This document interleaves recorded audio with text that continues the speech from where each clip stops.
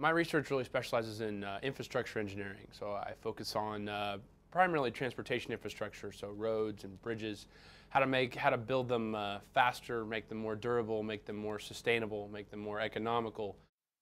I mentioned that I work on infrastructure work, so this is a this is a full-scale bridge uh, deck specimen that we're investigating, where we're using new construction techniques to, that combine uh, pre-manufactured pieces or precast concrete pieces with uh, rebar, but we're using pre-welded rebar mats. It's actually from right here in um, Oklahoma, and we actually put them in uh, above the uh, the uh, precast panel. We do a topping of four inches of of, of concrete on, on, on, top of that. And the idea is that um, is not only is it easier to construct, um, we're also monitoring the crack sizes as we, as we load them because we, we have to ensure that it's more durable as well.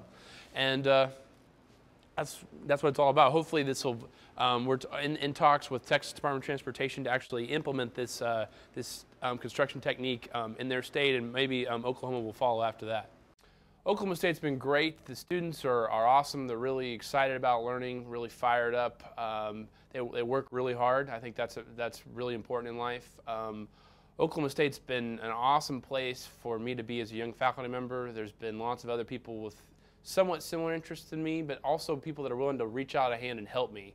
So I collaborate with mechanical engineers, chemical engineers, chemists, um, environmental engineers, lots of different folks um, to all work together on our on our goals, and uh, that's that's that's unique. There's not a lot of places that are like that, and I think OSU will. Um, if, if we keep up with that, if we keep working hard, I think we'll be able to make some, some uh, impact in the world in the future.